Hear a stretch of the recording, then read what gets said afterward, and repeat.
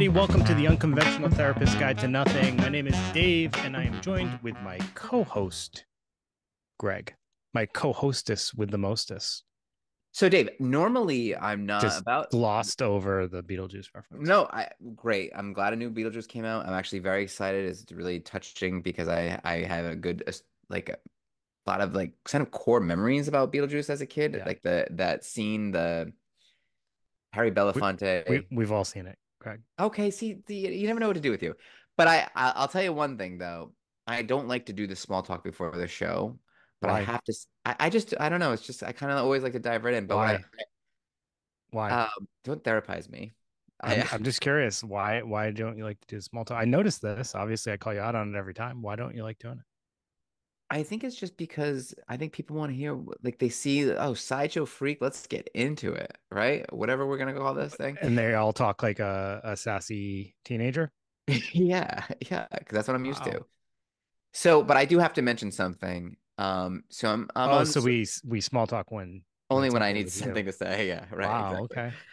I'm I'm you might be happy to hear this though, because I'm I'm going through the social media and then I see something advertised on um, a local magazine. And by saying local magazine, I think it's sort of like undercutting it a little bit because here in Rhode Island, Rhode Island Monthly is a magazine that, that I cherish. I actually love it. There's always um you know best clam cakes or like what whatever, right? Like Yeah. some something that's Best dive kind of bar. Yeah. best haunted places. Sometimes they have some really cool stuff.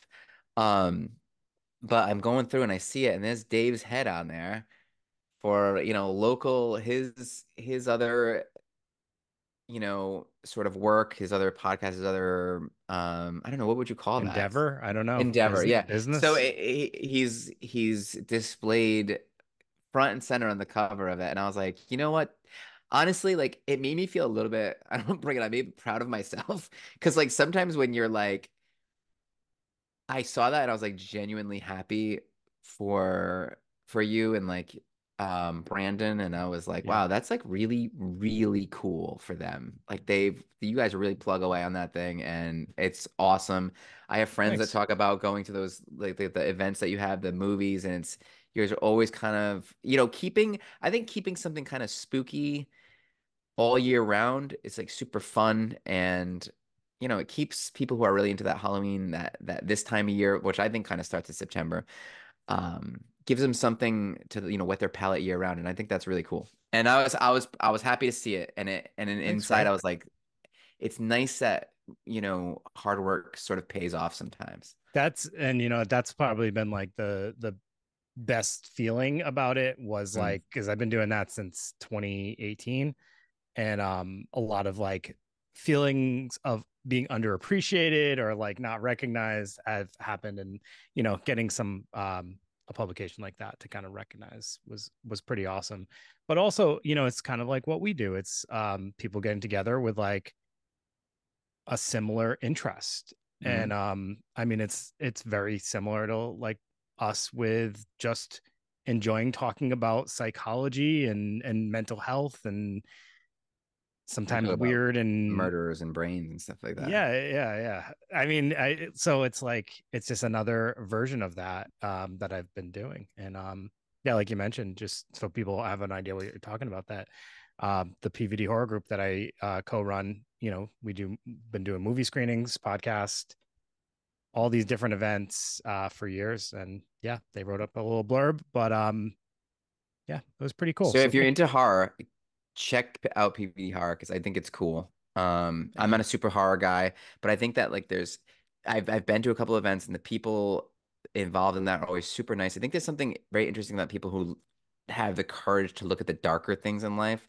because yeah, that's what makes a good a person a good person, right? If you have the courage to turn around and look at your own darkness, then you're it makes you certainly more well-rounded. And I think um ironically when you run, meet people who are like into metal or horror, they're ironically very kind people. So yeah, check it out. Um, but you know, kind of sticking with that theme, sort of, right? sure Let me Sure. um talk about a couple things here. So shows that I appreciate. My weird obsession. I don't know if you've seen any of these. Maybe someone's eating cotton balls. Maybe no no no isn't it my strange addiction Yep. oh, all right. Sure is that, what, is. is that what you were referring So to? Yeah. this guy passed the quiz right off the bat. That's great. What about my thousand pound sister? I doubt that's the name too. You know what I mean, though. My 600 pound life. And then Yep. there is one about a two sisters. I can't remember what. Yeah, yeah, called. yeah. You Yeah, I don't know know what it's shows. like, I know the Amy. Oh, yeah, those are Yeah. great shows, Taboo. right? Taboo was another one. I don't know if you remember Taboo. I do remember Taboo. I remember Ripley's Believe It or Not. I remember, but like even even changing out of that vein, think about shows like Jersey Shore. Think about Jerry Springer, right? We we have a culture that's obsessed with observing obscurity, and that's a triple alliteration Did I ever done. tell you about the time I was on Jerry Springer? It didn't get aired, but um, You you were not I- the father? I I got called up on stage and I did a dance off with someone on the stage and I did like a weird uh version of like thrusting and the worm to um I touch myself in front of a, an audience. Wow. I kind of um went like just blank in order to get like the courage to do it, but I had to do it because like I was on stage and uh I just put in my all and that was pretty wild. I have a video. What, is that on you YouTube? sometime. No, I'll to, I'll bring it. I'll show you. Yeah, let's see a clip. I mean, we're on Yeah, YouTube. Let's see a clip. I would love I can that, post right? it. Yeah, yeah. So, you know, we're, we, hey, look, we're talking about human beings on display, right? That's what we're talking about right here. When you're when you're on there, you're doing the worm, you're thrusting around. Like there's this voyeuristic nature in all of us. I mean, we're, you can go back to the Colosseum. Um, deformed, handicapped people were gracing the halls of, you know, Buckingham Palace, whatever palaces in Europe, all over, right? Um, they would have, you know, dwarfs and little people. I don't can't say dwarfs anymore. Little people. Um, all kinds of anomalies, right?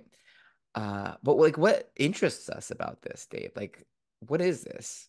Like, I, I, it's, I think that's going to be part of this episode is trying to understand, especially through the lens of the Victorian era, which is, I think, the most interesting um portrayal of what we're talking about here, sideshows. Um, and I, another question I want to ask us, and maybe we can get to the bottom of, is was this exploitation? A- And Mhm. is it exploitation um if it's chosen, right? Like like when we talked about Elephant Man, he was sort of chose to be in the sideshows because it was better than being in the workhouses.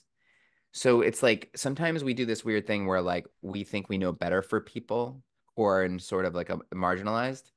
And so we, we do this thing where it's like, no, like we they can't we can't do that to them where it's like, well, that's actually helping them.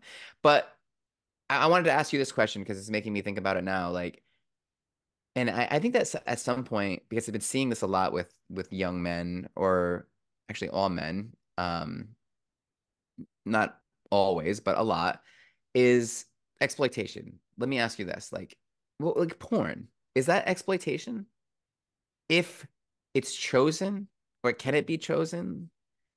You You know, like can it be chosen? so you know, I, I I know that we've talked before, like we're like you know, I've known people or have had even had patients in the industry, and you know, there's it's never well, I can't say never, but in my experience, it hasn't been that there's been like a great background, a great upbringing, a super healthy family life, and then chosen to go um work in the sex industry. And maybe Yeah, that's but I think that's changing. So I Uh, think that that sure. there's a lot of uh changes that are happening in society that are making like bringing light to that industry and kind of making it an industry that's I don't know. As you say has- that, right? I'm kind of thinking like um I'm I'm a boomer because I, I I wasn't really considering OnlyFans, but even still, I don't know. Like Yeah. maybe there's some Yeah. maybe there's gonna be That's like kind of what I mean.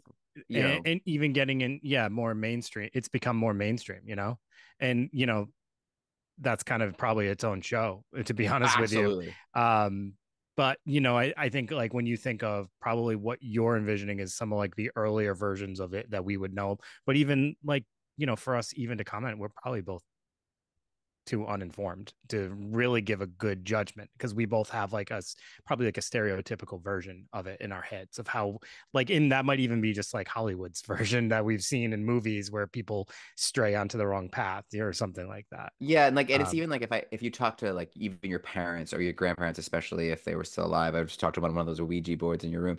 But like Yeah. if if like you know, sometimes people have been living away. Like maybe I've been living in a certain way or have an ex an idea of culture and what's appropriate and what's healthy that I might have a hard time understanding that you could be sort of mentally healthy and and still want to have an OnlyFans and sell, you know, I mean, I do think there's something to the psychology of wanting to, and this kind of just to kind of bring it back to what the topic is, yeah, there is something please.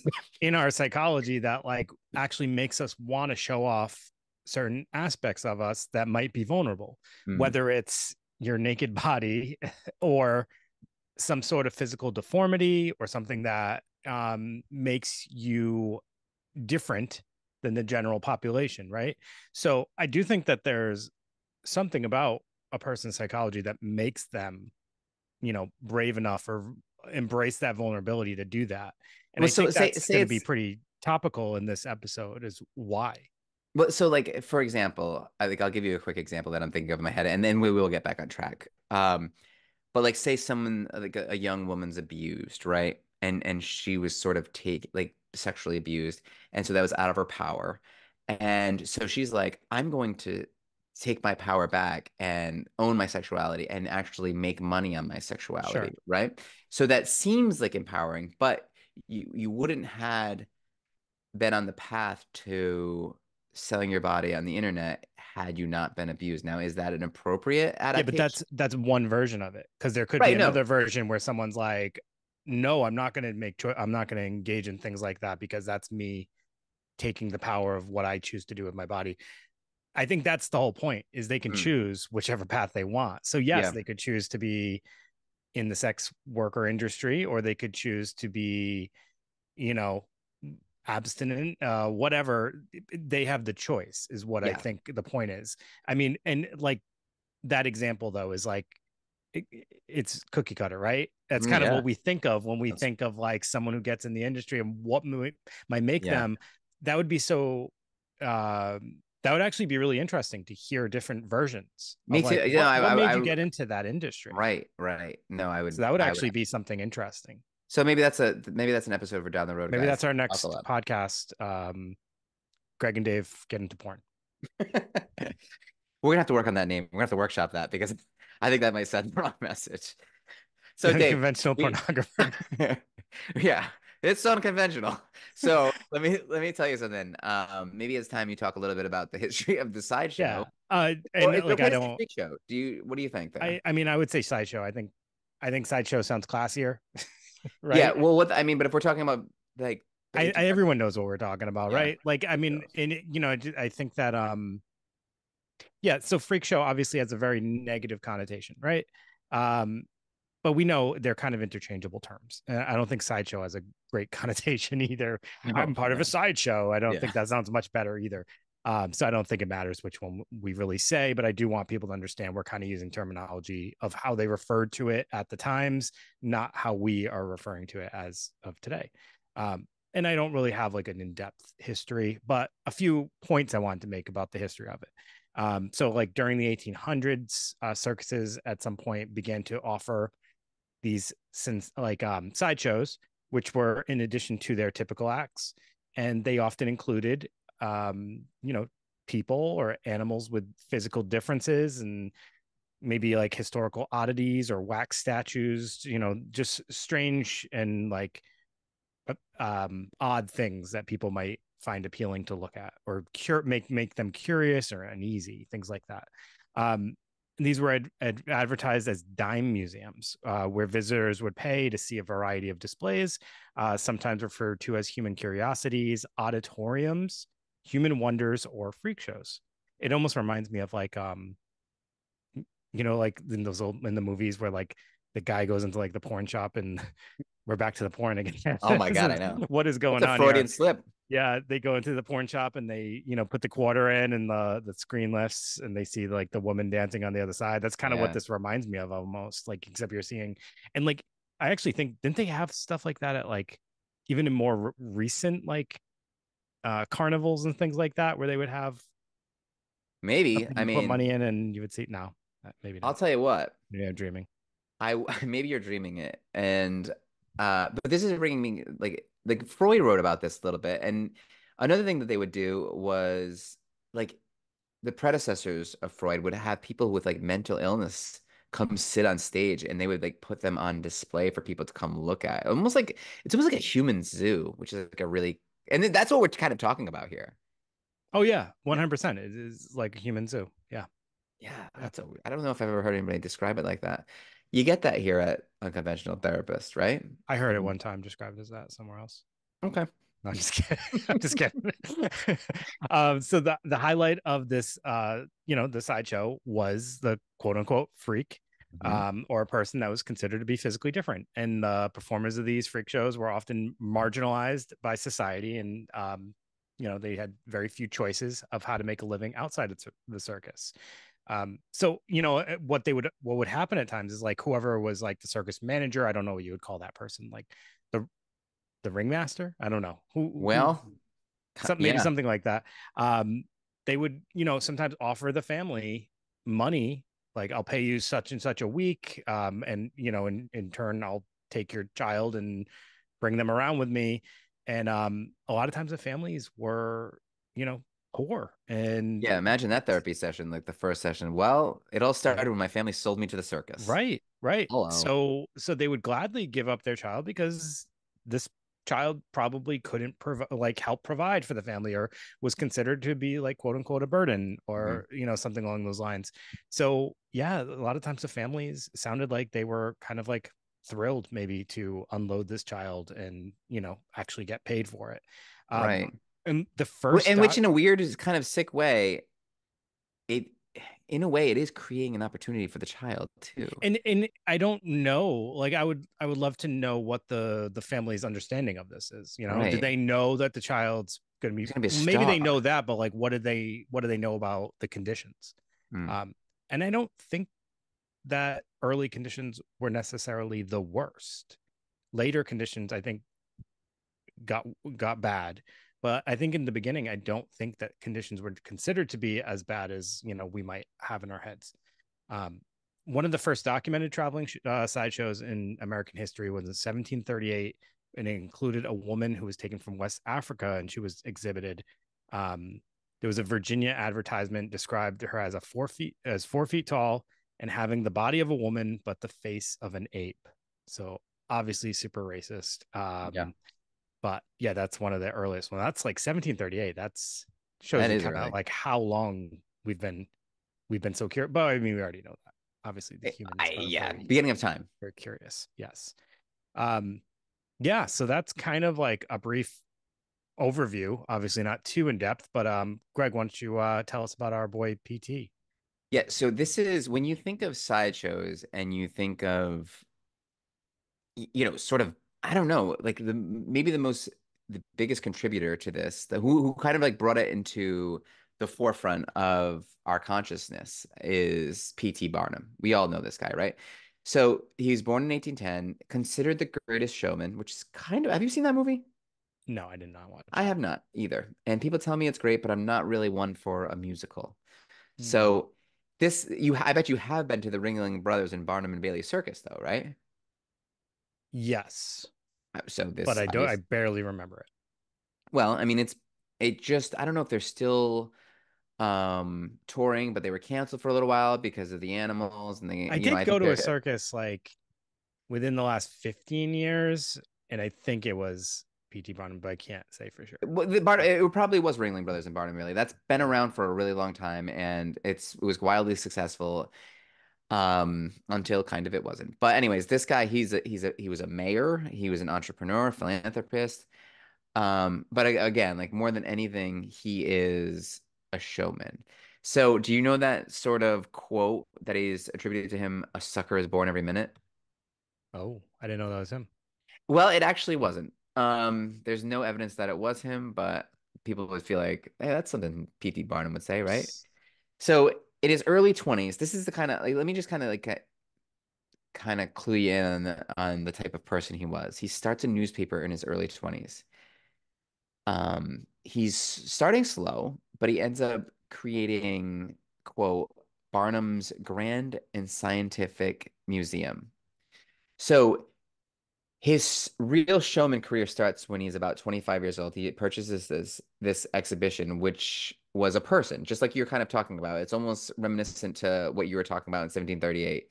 It's this paralyzed, completely blind slave woman, right? And what he does is he, the, the most important thing that happens here is he starts to realize that there's a genius element to this. Like he doesn't just say, "Hey, look," like before in 1738, here's this woman that looks like this. no, that doesn't do much good for anybody. What he does is uh, he creates a story. This woman's name was Joyce Heath, right? And she was, you know, in her 80s. But he would explain that she was the 161 year old former nurse of George Washington.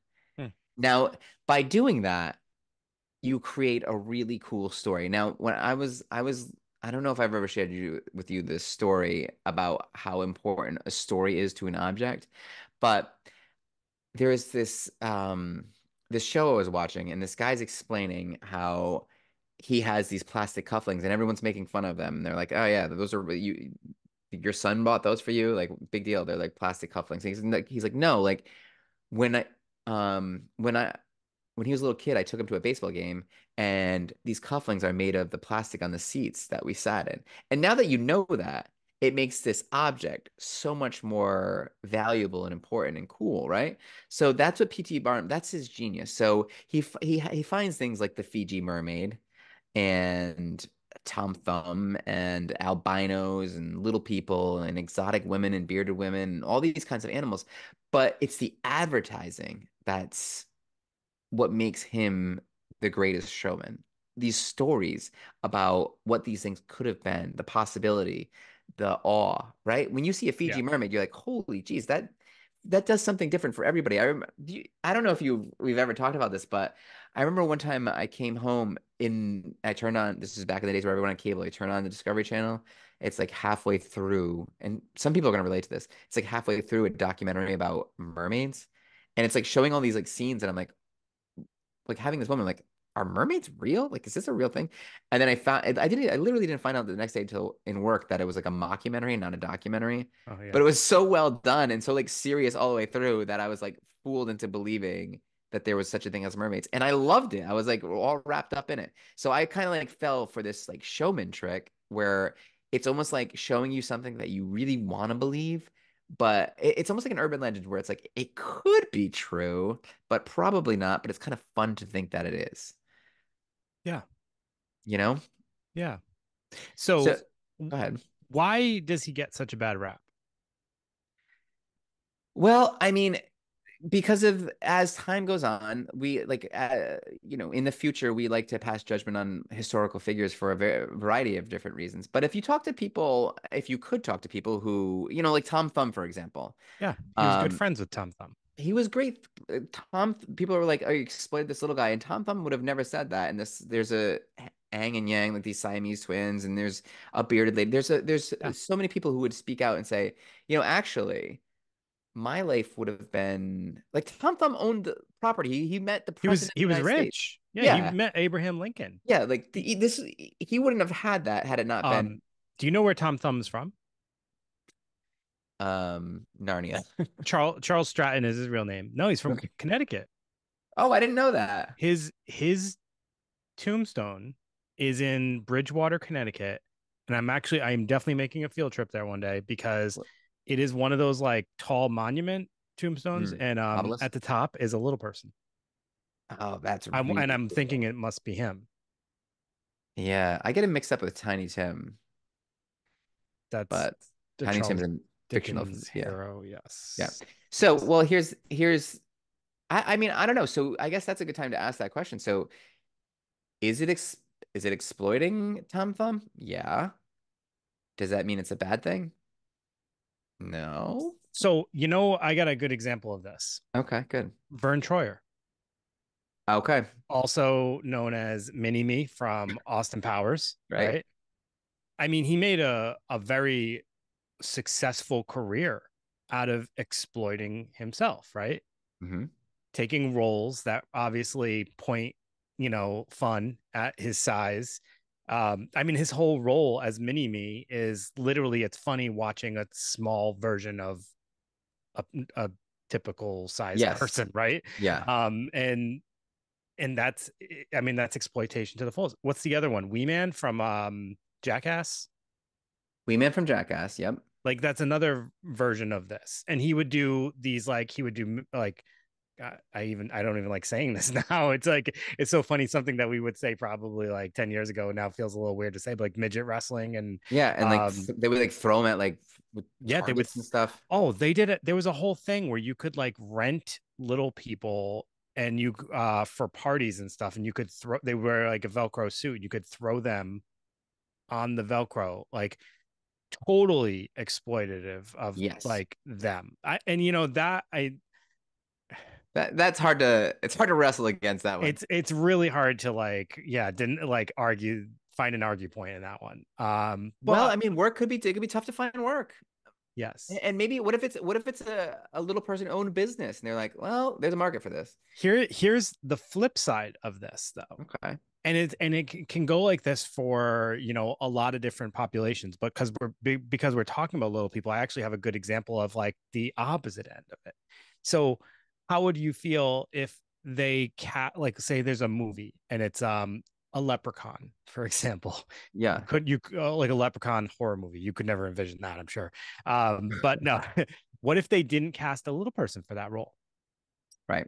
is that actually like is there something wrong with that is that them you know because like there's some people that feel like no we should be cast for it because that is you know do you know get what i'm saying? It's kind of like the I do, opposite yeah. argument. Like Yeah, we no, should be in that role because of our size and um, it makes sense. Because like i actually interviewed for that other podcast someone who was like upset that you know a certain role wasn't given to a little person um, because it made more sense for it to be that. Uh, it's it's a very strange dynamic that like we would almost get upset in like the flip uh Well, the thing is, like, you, you have to do this weird thing where even with like protests and like you have to do this weird thing where like you you in a sense by arguing for that person to have more rights, which I think is great, you're almost doing this weird thing too where you're like elevating yourself above them in a sense. Where you're like, look, I know better than you. You shouldn't get thrown at the wall. You know what I mean? And you know, maybe so and and this is where it comes down to that thing that we talked about back to like the path of porn yeah. it's that when you empower yourself and when you decide you're going to make the choices of how you're going to represent yourself or how you're going to respect your body it's your choice Right. Live and let live. so who's to tell you that it's wrong right. to make the choice if i'm going to exploit myself should that label still be used then at that point if i made the choice to do it am i Well, look, we're, are we therapists because we've been sad and anxious? Probably. Right? Like we both had some, you know, and we made a choice at one point in time that this is the path we're going to take because we're going to use the skills we learned from our own struggles and we're going to try to help others with those and just because society deems that appropriate right now doesn't mean it's any more appropriate than if, you know, it went a different direction. right? yeah well i mean i'm sure there was a thought uh, thought process at one point in time that if you ever struggled with a mental health issue you should not be in that profession Yeah. Which Right. is, which to me is uh, wildly, you were going to say insane and then you're like it's probably not a good word to use but I paused it. um Yeah. no i'm i'm thinking of so many different scenarios that all play into the same thing like it's all right it's like having a straight actor play a, a you know um a Mhm. homosexual or something like that there's some people that would say like why wouldn't you just cast you know a homosexual for that role or something like that uh At a certain point, we all need to relax, I think. I, I Right. do think that there there is definitely some of that there for sure. Yeah. Um, yeah, yeah. I Yeah. I w- the thing that we do as a society right now is we think everything is a malicious choice. Mhm. When we're when someone feels excluded, we immediately go to like that was a malicious choice. We we want to show everyone our virtues. Like we do this like weird like virtue signaling thing where it's like I'm know- I know what's right and we're we have to do what's right here. And you know, I'm not going to pretend like I'm an angel and that like I've never fallen into this because. I I definitely have probably been there with you know casting stones. You are a bleeding heart, Dave. There's no denying that. I I definitely have you know my moments where I will have strong opinions about things, but the thing that I have to remind myself, and you know I've been get trying to get better and better with that is the thing that I do with people all the time is like try to understand where they're coming from mm-hmm. before you make that quick judgment of why they made the decision they made. That's all. Don't assume you know that reason until you get more information. Because for years you've been trying to better understand people, and by trying to better understand people, you've been better understanding people. Then, of course, when we, we change over time, we start to say like, "Oh, maybe that wasn't the best choice." Maybe that, I, I know, I Sure. get it. But Sure. here's the thing: maybe we should get into some staples of the freak show. Yeah. All right, So- I'm gonna do that, and I got a couple little stories for you actually. Um, so the bearded lady. Now, that doesn't sound all that um sideshow worthy these days, right? So, but if you're thinking of like Victorian gender ideology, it would have been like this woman, she has this beard, but at the same time, very feminine and like, you know, speaking very softly and wearing the beautiful dress and everything like that. So it was like this, you know, contradiction, right? Yeah. So there's this great story of this this woman. It's kind of a tragic story, but Julia Pastrana, 1834 from Mexico. She teams up with this shadowy, what do we decide on? Ringmaster? I guess. Yeah. So his name is I- Theo- I don't know. Theodore Lent, and he marries her Lint. Lent, like the after Lent. uh on the way to Easter. Easter. Yeah. Yeah. So he marries her and he takes all the proceeds, of course, because it's 1834, and controls her. And she had tons of skills. Like, so she's she speaks multiple languages. She can do all these sort of um, she can spin things. She's pretty talented, right? So she gets pregnant. The she dies in childbirth, and the child dies. Um, but before the child dies, the, Theodore Lent realizes that, oh, look at that. The son was like covered in hair, kind of like Julia was. Um, and what he does, instead of just like honoring their death and kind of, you know, appropriately, he embalms both of them and brings them as a display. He finds another bearded lady, marries her, and calls her the the dead wife's sister, and creates this whole sort of display based on this, I don't know, really dark, Yeah. you know, marketing. And his in his at the end of his life, he ends up in a mental institution. You can imagine why, right? Yep.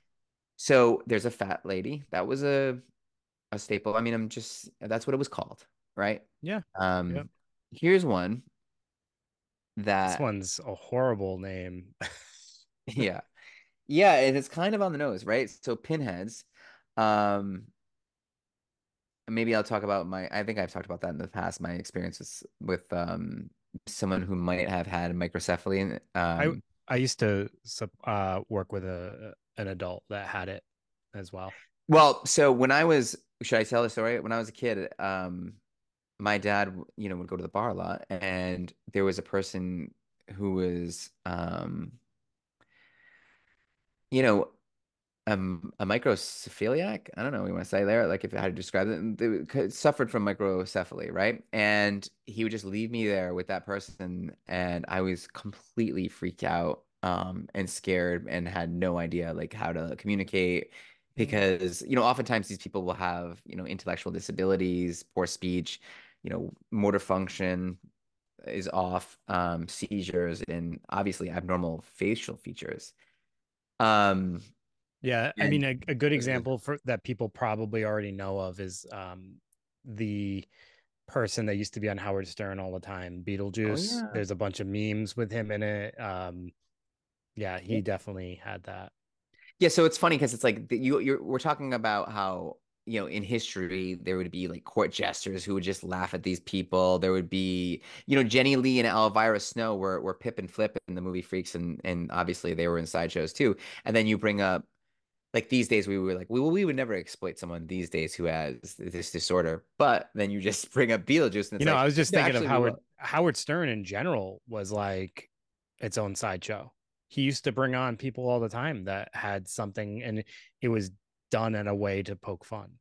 Yeah, they would ask him like math problems and stuff, and and like you know, it's you know, that's kind of really in bad taste, I think, right? And then and then Howard Stern kind of sells himself as this sort of woke kind of person nowadays, which I, I you know, we all grow, right? I mean, that's good and everything like that, but it's like, come on, man. That was some rough that was some rough stuff. Um albinos, little people, strong men, and then there was like skill players too, like trapeze and and yeah. a lot of horse riding, everything like that. Can you, you think know, of anything else? Yeah, there's um I, I, I don't really know what it's called, but there's like so one example is this individual called Lalu, and it was he actually had like um and uh, like extra limbs growing out of it. It almost looked like another body was attached to him, but with no head. Um, so he had limbs like kind of coming out of him. Was there a story, like a crab person, or? It's like a I I, I don't know if it's like um a parasite it's if it's considered like a parasite or something like that i've kind of read that and i don't know if that's real or not but then there's also like siamese twins that's yeah. which is um you know obviously conjoined and sometimes they might share a head but have like two separate actual bodies um but i just with like that lalu i heard that he had like a his limbs were like that that body that was coming out of him was like fully functioning if you know what i mean well, yeah well he's, like, he's like obviously a twin and he absorbed the twin right sure in, in utero sure. And then when when the mother gave birth and whatever year this was, the doctors were probably like, "Oh, wow." So you know how I got into like when we were doing some of the research on like serial killers, I got into like the murderabilia. Mm-hmm. Yeah, there's like these old photos of these uh individuals, and I'm like, I think I want to collect those. Yeah, I can I see that a little bit, right? Yeah, I saw and... one of Lulu, and I'm like, I want that.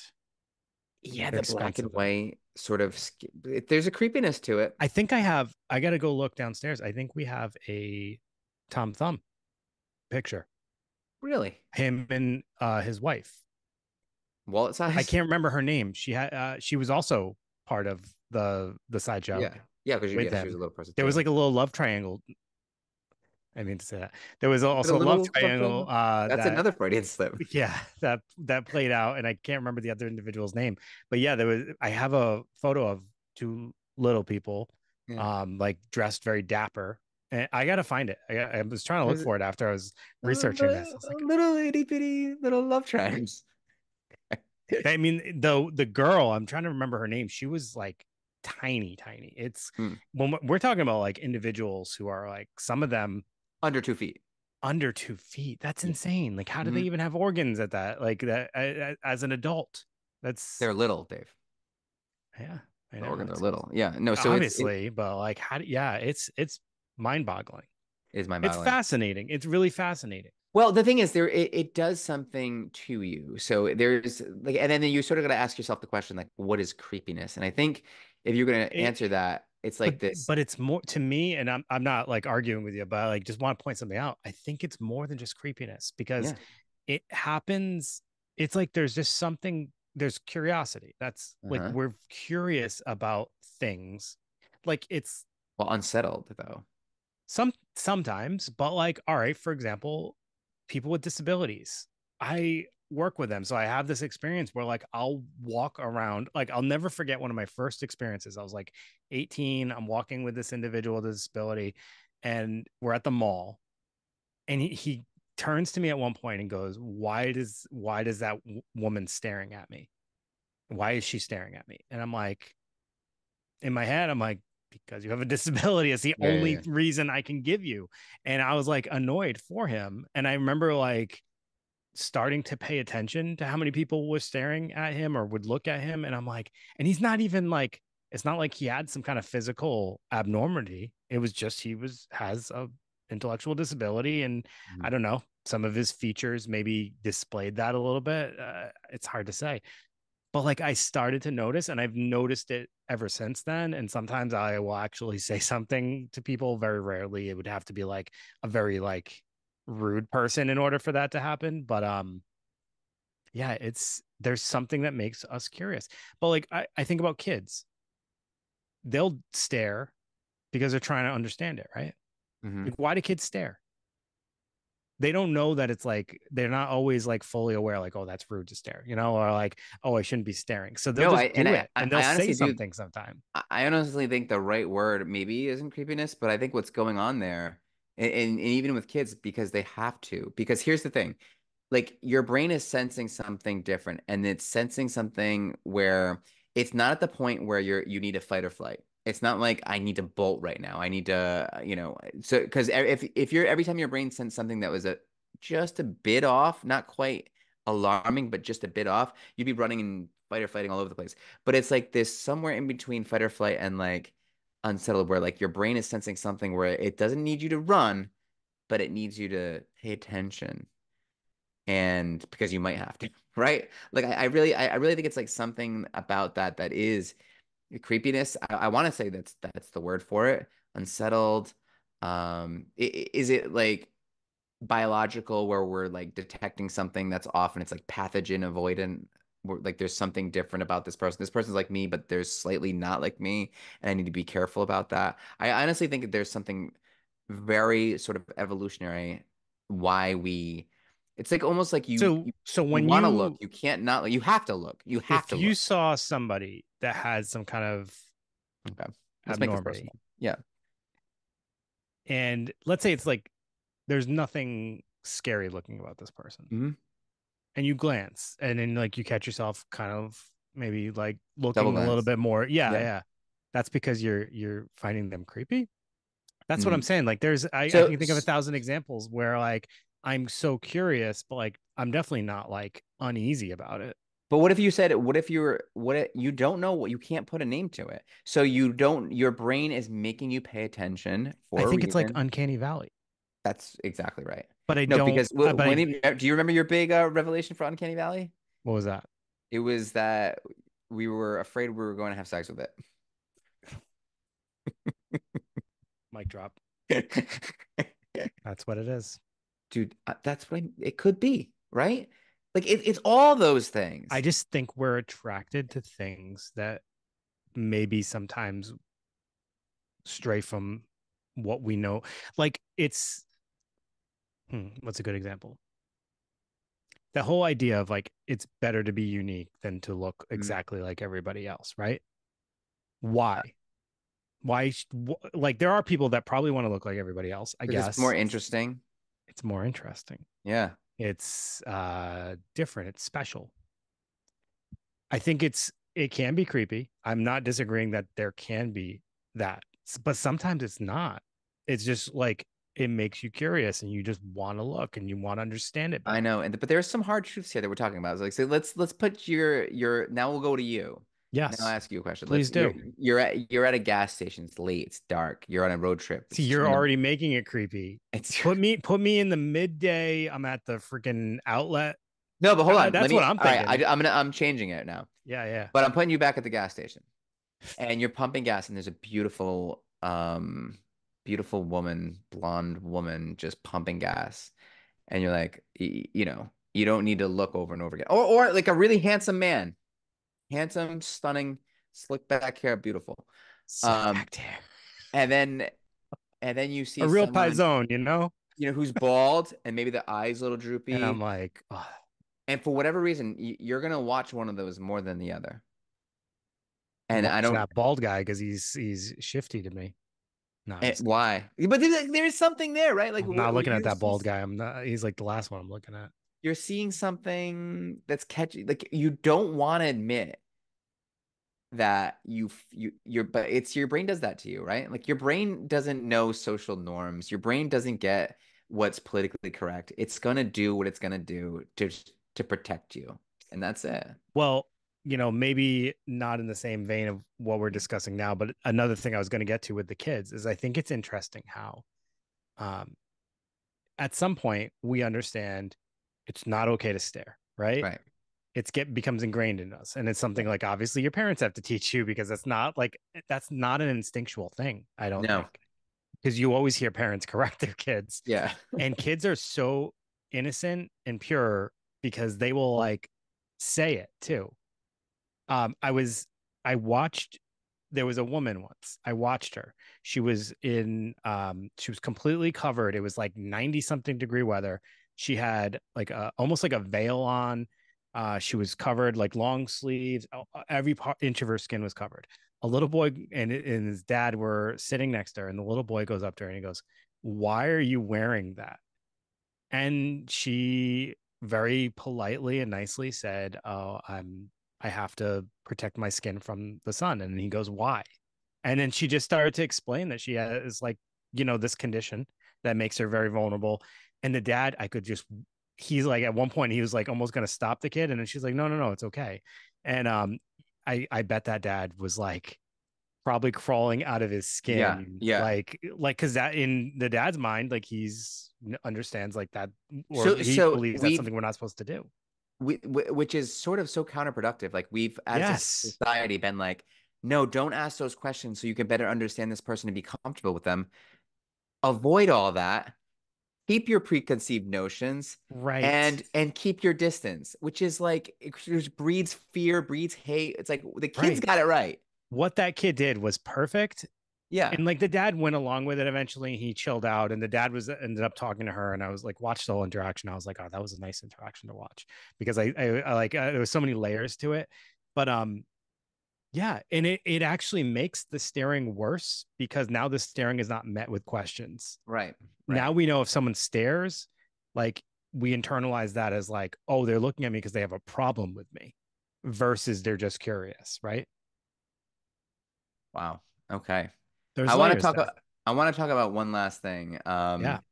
This this Freaks movie, and I know you didn't get a chance to watch it, so I'll just go through it quick. Yep. It's is definitely definitely a horror film. You would love it. and I believe, you know, I, I'm totally aware of it. I just never have gotten access to it. I was joking with you before that I'm not going to pay for it, so I'll just wait for No, it. you said you're gonna enter- you're gonna wait, and what's funny about that is, it came out in 1932. So, Yeah. um, Yep. But there's this, so it's it's made at a time. This is this is kind of interesting, right? We talk about I don't know if creepiness is again is the right word, but it's made at a time when you can use people with deformities about a people with deformities. Greg, can you um lift yourself up because um people are probably wondering what's going on under there, and if you're one of the people that you're talking about. right yeah so i mean dude but do you ever think so I, I guess we were kind of talking about that before where it's like oh yeah like we of course of course we're going to use um you know people with microcephaly to play people with microcephaly in this movie like but that's kind of like but at the same time are are they uh, so if someone has an intellectual disability do they understand that they're being filmed and they're going to be watched and and i don't know like this this is ex uh, this is again this is exploiting but but it's also kind of good right? Because this is what people say all the time now. They you know if if you're making a movie about people with deformities should you hire people with deformities to play these roles? I mean yes and no right um but let me give you a quick synopsis that was a Synopsis, yeah, go ahead. yeah. Well, let me give you a quick explanation. I won't even try it again. Um, synopsis. I can do it. By the way, um, beautiful, beautiful trapeze lady in this movie. And so she she marries this. Well, she's in a relationship with this strong man. His name is Hercules. Pretty on the nose too. Um, and they had this plot to steal Hans, who is this this little person. He gets an inheritance, and they're gonna steal it eh, because it's a pretty sizable inheritance. She plans to sort of trick him, Hans, into thinking she's in love with him, and then she's going to kill him and run off with Hercules and the money, right? So the quote unquote freaks figure it out, and this trapeze lady feels nothing for them. She she can't. I, I guess the movie's in a way sort of about class warfare or like othering, whatever. Um, but she she she cares nothing about. That's made very clear that she is thinks that she's so much better than them. They're nothing. She can just steal from them. He shouldn't be having that much money, right? And all the freaks they uncover this plot and they get her back in like a next level. Get her back. So they turn her into the thing she despises most, right? They feel disrespected. So what they do is they blind her, they burn her, they cut off her legs, and they turn her into a sort of duck. Huh. And it's just horrific when they they they show this. And I don't think all versions show it, but it is um you know, she did this horrible thing and then it's like they answer back with an even more horrible thing and it's like it's it's just it's a really dark movie. And there is something Dave, I don't know what, how you feel about that. So you've been working with people with special needs your entire life almost, right? Uh, your entire professional adult life. Now, if they were going to make a movie about people with special needs, would you feel comfortable with people that you work with portraying people with special needs in a movie? I would want them to. Okay. Yeah. that's that's all the You know? you know. I, I think I believe cool. I think they would do a more accurate representation than um Cuba Gooding Jr. Hmm. You know what I'm talking about? Radio. yeah. Yeah. Um, absolutely. Right. I mean, Sean Penn did a wonderful job, but like I not, understand. every- not everybody's Sean Penn. so repulsed and attracted at the same time, I think is a good way to explain this, right? Yeah. The you know, the scene that obviously like is the most legendary is that one of us scene, and that is like chilling. You know, the dinner table scene. Yes. Yes. That I mean the way it's, it's so it's 1932, so there's already a feel there. There's already and and then I don't know. I I was creeped out. I watched it on like a like a big screen too. It was just and then it made me like sort of it reminded me of something that's not my own thought. Um, but I can't remember who said it, but you'll pay money for any emotion. That's true.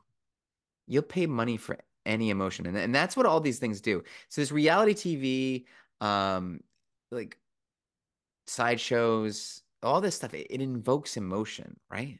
That's that's kind of what we're we're going to these things to do.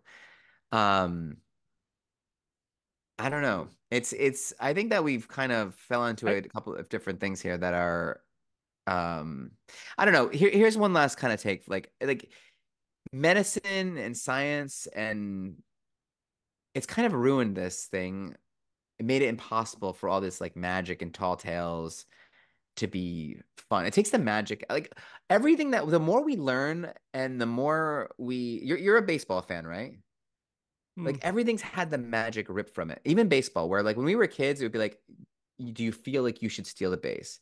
Do like that's how they played baseball. Even when we watched, you know, Right. Pawtucket Red Sox or whatever, it was like yeah, yeah. the, the coach had a feeling or the manager had a feeling, right? And, and oh, you should. It wasn't based on statistics like it is now. And I don't know. There's just something.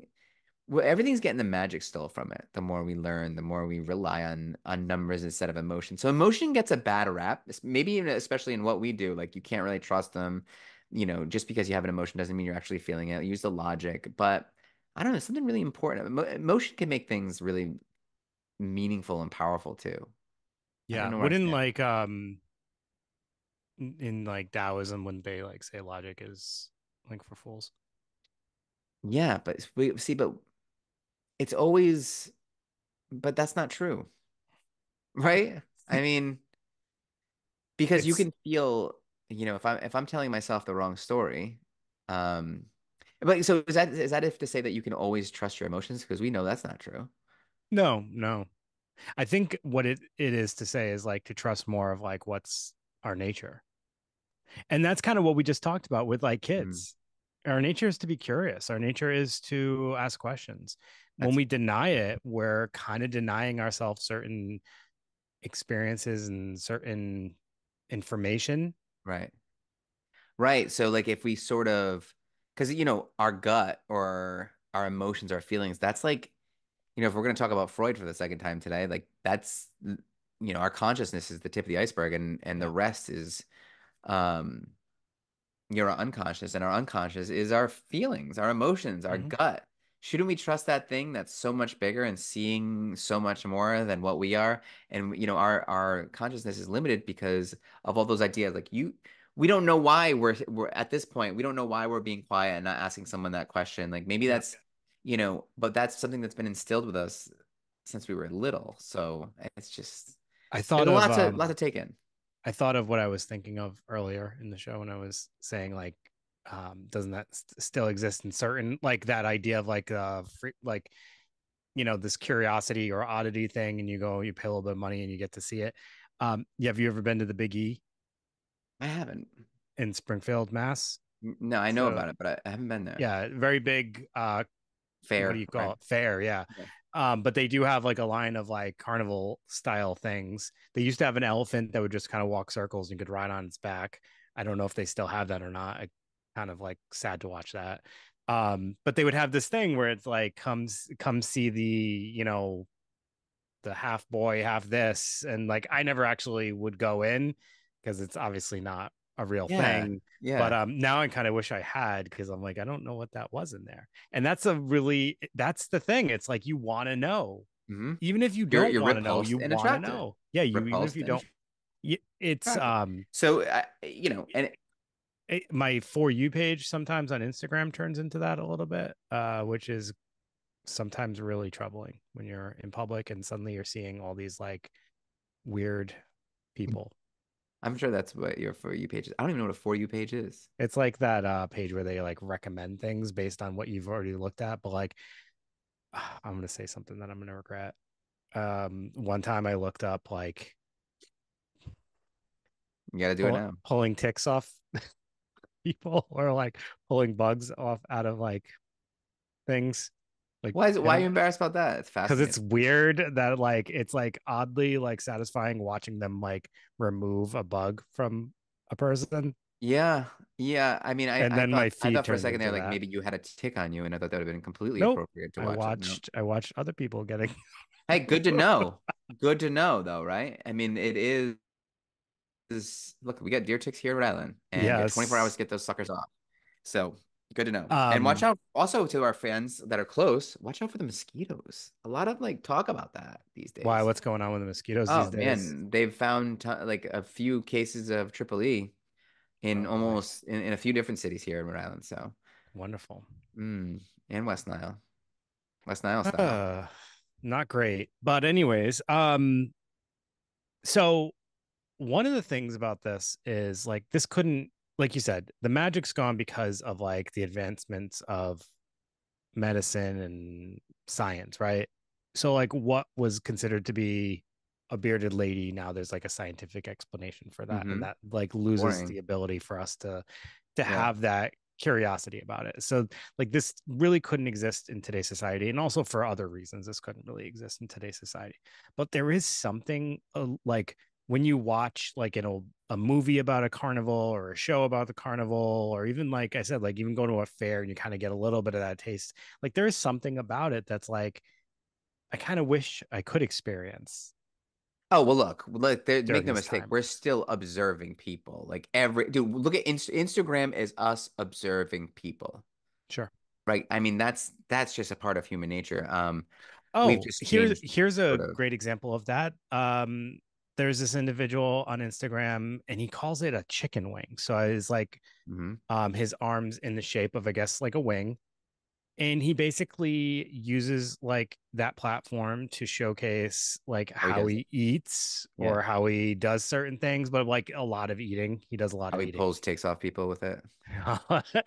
but um, if it's for educational purposes, is it exploitation? Because he's, ma- I'm sure he's making money doing it as well. Because I'm sure he, he's getting a lot of views and likes and stuff like that. Yeah. Well, I mean, But he's posing it as like showing people how he can, you know, eat a giant Big Mac. And you're like, oh well, I'm glad I know how that operates now. Yeah, yeah, yeah. Is it exploitation? Well, we're not. We can't say. Oh, it's all exploitation. But is it? Does that make it bad? Just because Sure. is exploitation bad? So Right. I would say If it's if it's for educational purposes, what- is it? And are we? We're unable to judge. Is basically what we're saying. It's up to the person. Yeah, I think that's So, it. I, I in think it's today's like. society, if you want to exploit yourself. I think if a person has the capacity of free will, then we have to let them exercise it, Here's another version of this that um unless somebody it's hurting some someone or some somebody posed this as exploitation. I was kind of like a little bit like I don't know if I agree with that. So have you ever watched um Love on the Spectrum? Yeah, I love it. Yeah, great show. Hmm. Funny, charming, heartwarming, all those Heartwarming. things. Yes. Um so I I asked someone if they watched it and they said, "No, I don't I don't really like that show because it's just I feel like it's just exploiting them." and I thought about it. I was trying to figure out like what could they mean by that? Like why is it exploiting them? And then uh, there's that. There's always that thing that I comes back to me is like, do they know why some of these things are funny? Like they're just being themselves, and mm-hmm. we're getting a kick out of it. Is that exploitative? You know, like they're quirky. Mm. They have um you know some traits that mm-hmm. make them a little odd at times. But when you're so when you're laughing, though, and I know that I can speak for myself. Like when when I'm laughing at that, I'm like it's like a very like I'm not ashamed it's of in, laughing. It's an oh, endearing it's, laugh. Yes, dude, like I would do it if I was yes. like in a conversation with them. I, I do it. Still... I do. I, yeah. So exactly, I do it with, uh, you know, autistic patients. We laugh together, and I and I, you know, it's part of the process of like, yeah, no, this is this is great. This is like, I, I don't know. There's something so real about it. So I, I and I think and that's kind of where I ended up landing is like, again, it's like the intent does matter at times. Like it's not a malicious intent. It's not like a haha, oh my god, that's so like oh they're so yeah, what, what like, an idiot. You know, yeah, I mean? it's, not like it's nothing like that. Um, but at the same time, it's also like, isn't that what connects us? Is the ability to appreciate mm-hmm. the differences and yeah, and like it. it's a beautiful sentiment. That's yeah. it, Dave. That's a beautiful sentiment, and that that is what it's all about. Is like, how, you know, what about this person can I appreciate? What about this person brings me joy? And it just happens to be easier with those people, right? right? And you know, it, so coming back to the sideshows, and I guess this is kind of like the last point that I have about this would just be, I feel like that was kind of the initial intent mm. was to more of like to appreciate and sure somebody was going to make money off of it and maybe maybe that changed the way it was and i'm sure like obviously greed whenever money's involved obviously greed's going to be involved at some point.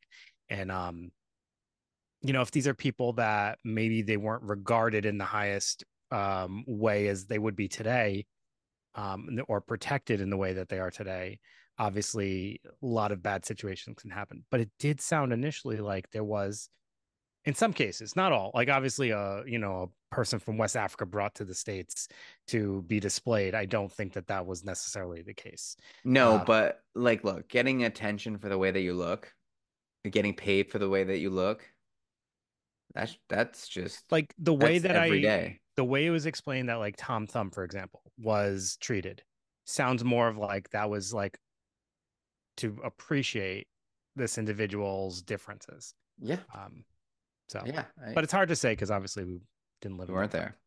And did things kind of suck? Probably because it was 1800s. Everything sucked. Everything sucked. You know, it's it's Dickensian. So yeah, it sucked. Uh, before we completely wrap up today, I just wanted to give a little bit of a shout out to an individual on YouTube. Um, his page is XF C97 or XF Introspector 97 is the the full name. Um, but he gave us a really really nice shout out on an episode um, based on our interview with Kathy and Sawyer. Um, Sawyer being the former Heaven's Gate member. Um, he basically this guy um, recommended three podcasts who have you know done episodes about Heaven's Gate and interviews and he felt we were very respectful and non-judgmental and i think that that meant a lot to us because uh, that was kind of our goal was to go mm-hmm. into that being very open-minded and non-judgmental. Um, and i just appreciate the fact that he took the time to make that video to shout out others for their interactions. So i really appreciate that and um, you want to kind of do the same. So um, xfc 97 is the page. So thank you yeah. No. All right. That's what it. That's it. I, I am out of words. Okay. okay. All right. Um, so everybody, thank you for listening. As always, um, please make sure you are subscribed on YouTube, like the episode, all that good stuff. Um, if you are listening on one of our audio platforms, please leave a rating and review if possible. We super appreciate it.